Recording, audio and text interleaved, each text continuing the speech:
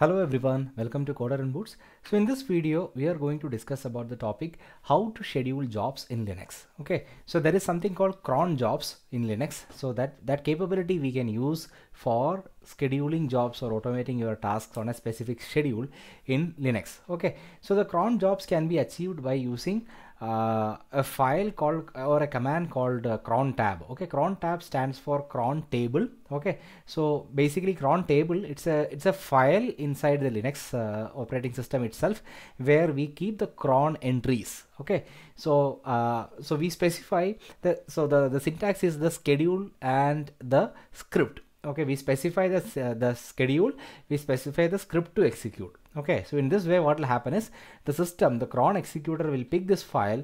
It will uh, identify the schedule then will execute the script based on the schedule. Okay so uh, it's a very handy tool and uh, we can use it for automating uh, several tasks like um, uh, so for example uh, let's say if you want to run backups right? So you can run the backup on a periodic basis maybe at 11 p.m every day or maybe on fridays every week right? So the schedules you can uh, you can configure based on your choice right? And uh, uh, I'll, I'll explain into the I'll explain the commands and everything. And also there is an option like I mean to block the users from using cron tab right? So uh, there is just like I mean the SSH or uh, uh or SSH so there is an option to allow or deny right? So in this way uh, what we can do is we can specify the users whom you want to allow okay? Or the specify the users whom you want to deny cron. So those users uh, will be blocked from using cron. Okay. So the only only catch over there is whatever cron jobs you have already configured right? Those jobs will run for the users but it will the any any entries to cron.allow or cron.deny so that will act only for new crons. Okay. Existing crons will run because that uh, the the linkage between cron.allow or deny to the cron tab is it will check only during the execution of cron tab command okay so once it is already entered uh, then it will execute. So the only way to block is or uh, stop is by removing the cron entries from the specific uh, user user cron tab files. And this cron tab file we can uh, set it up at the user uh, level okay? So we can keep the cron jobs or uh, there will be a cron tab file at the user level and you can enter the cron job inform details into the uh, in the user specific cron tab so that the job will run as the specific user at the specific interval. So now uh, instead of explaining a lot we will get into the practical session. So what I am going to do here is I'm going to run an API okay so just to show you uh, the repeated process happening right I'm going to run a Python program that's an API and I wanted to call this uh, API every minute once in a minute okay? So uh, that's the goal. So let I have an app.py over here so this is my Python program. So if you see this has a simple flask API and it has an endpoint slash API it runs on port 8000 okay? And uh, it returns what? Status success. So that's the program simple program so what i'm going to do is i'm going to run this program here. So let's start this. First before starting that let me uh, activate the python virtual environment. Okay. Activate.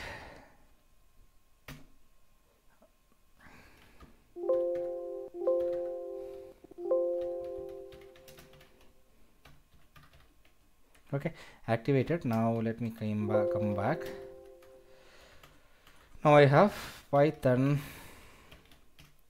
App.py okay so now it's running. Now you see the program is running on port 8000 okay so now 192.168.5.12 this is my local IP address and 8000 is the port.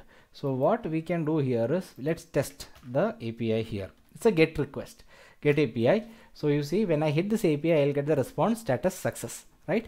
And corresponding to the request you will see a hit coming over here as well. You can see uh, there is a, a, request to slash API okay? From uh, this IP address 192.168.5.148 okay?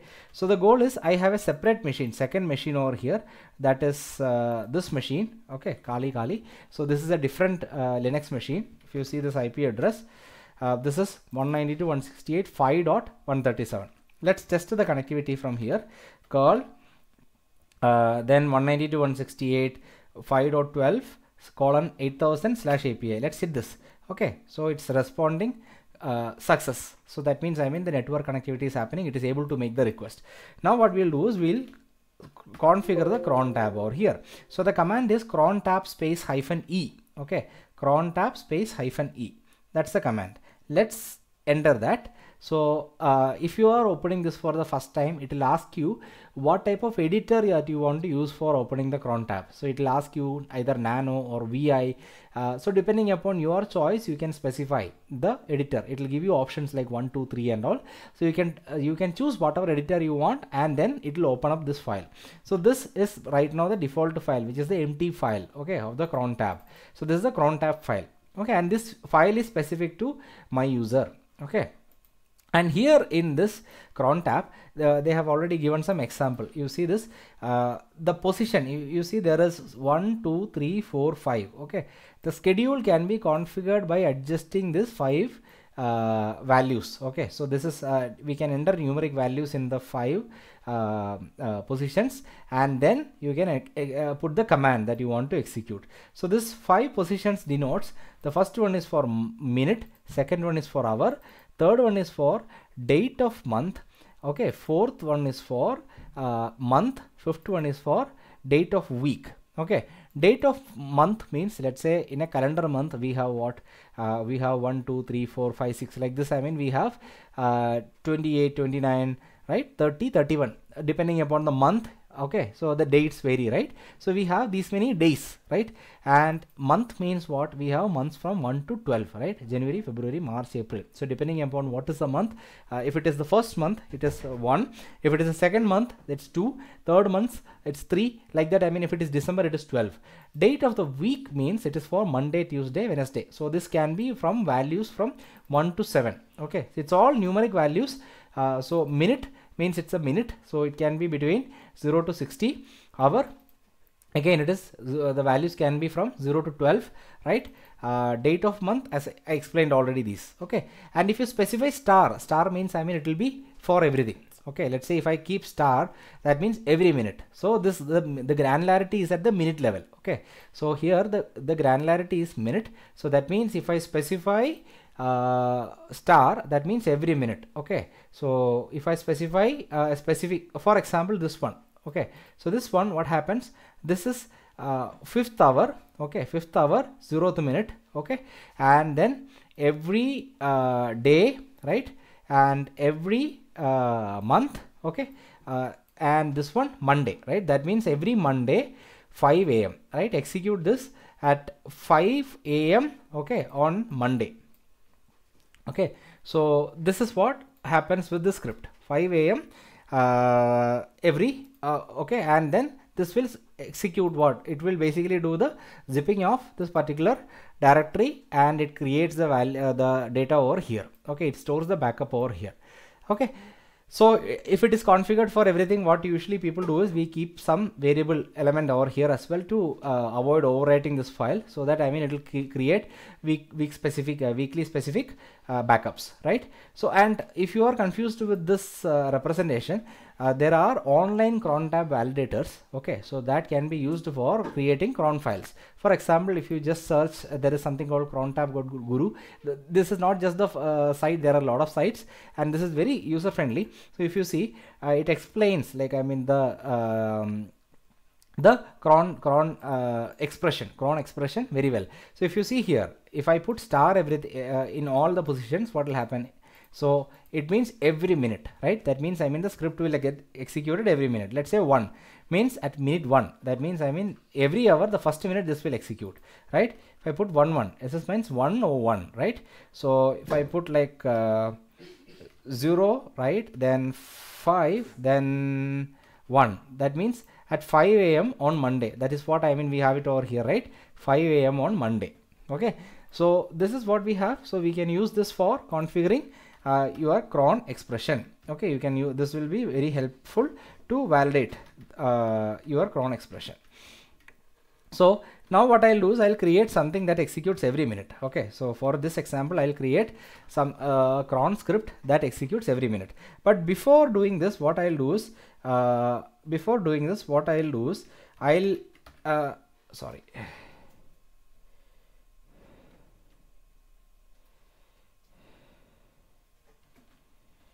Uh, what I'll do is I'll basically come out and create a script for calling that API. So we can do either this entire command itself inside our cron tab. So for example here what we can do we can specify this star 1 2 3 4 5 and then my script.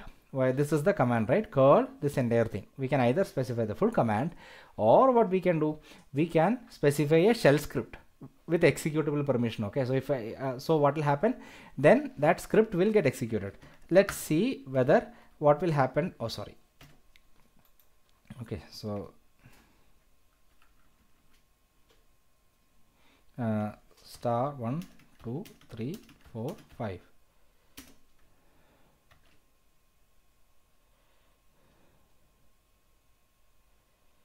sorry uh, I think I mean I it's command 1 2 3 4 5 and the script. Okay. Control q. Save. Okay so now you see we have a cron tab over here right? Cron tab hyphen e. Let's verify it again. So once you open it again you will see the same entry over there. Okay. So i'm just exiting the file. No modification made. Now we will watch here. Okay in our api we will see whether we are receiving any hit uh, let's wait. Okay so it will take almost a minute. The next minute uh, we'll expect the execution. Yeah you see now now you see a hit hit came right? So this is something that got triggered from the the other machine. Now we, we can expect another hit and another minute, minute okay? Let's wait.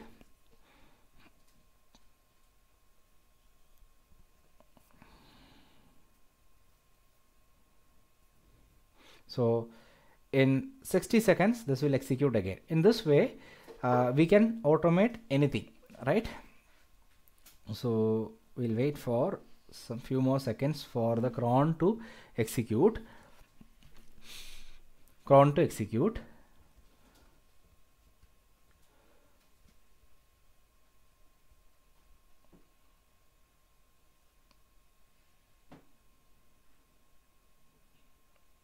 yeah it's almost near to a minute. Let's see.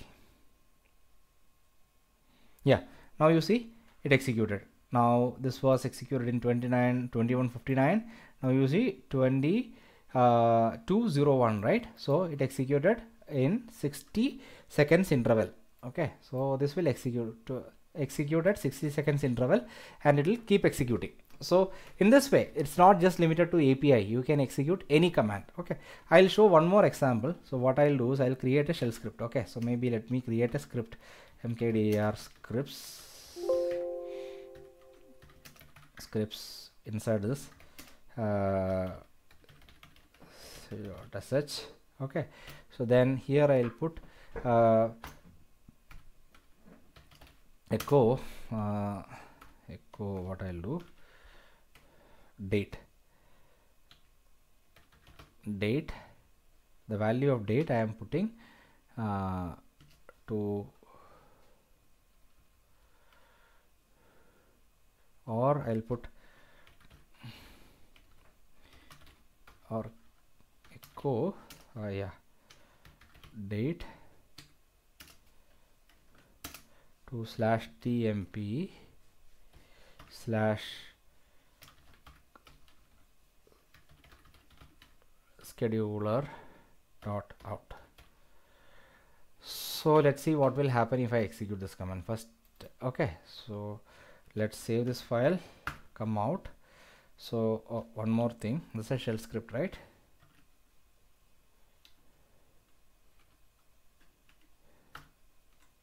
So what we'll do is we'll put shebang on the top hash exclamatory mark slash bin slash bash okay.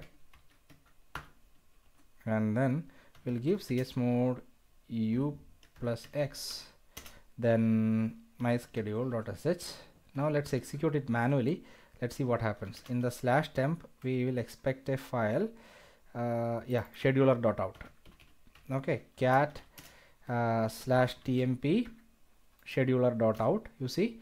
It pr printed the date right? So now let's execute it once again if I execute it once again it will append the date over there. You see date the time of execution it appended. So ideally if, any number of times if we execute what will happen? It will append keep appending the date to this file. Okay. So now what we'll do we will let's uh, and let's verify the path of this file again. It's in kali scripts and my schedule.sh that's the file name right? Okay. So my schedule.sh so let's uh, frame the path kali scripts and that my schedule.sh this is the file. So cron tab cron tab hyphen e again come in. And then what we will do here is uh, it's again star I wanted to execute every one minute star star. Then I'll paste this uh, shell script. Okay now I'll come out okay let's verify whether the content is saved or not. Cron tab hyphen e. Yes the content is already there. So let's come out. Now let's wait for what's happening with the tail hyphen f slash tmp slash scheduler dot out. Okay. So ideally we will see a new record in this particular file every minute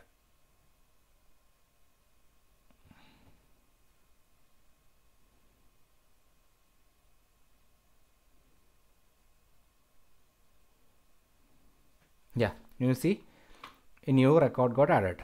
Okay that means the shell script got executed. So like this you can add any complex logic to your cron tab and schedule your job. Okay so this is a very powerful feature. So you don't really need any programming language or anything to configure it and by default the system will execute this. I hope this example is uh, useful and clear. So if you have any feedbacks, comments, uh, questions, anything, feel free to comment below this video. And if you are interested in this uh, video and if you want to uh, hear more uh, about like uh, more videos like this, please subscribe to the channel as well. Thank you. Thank you very much for watching this video. Have a nice day.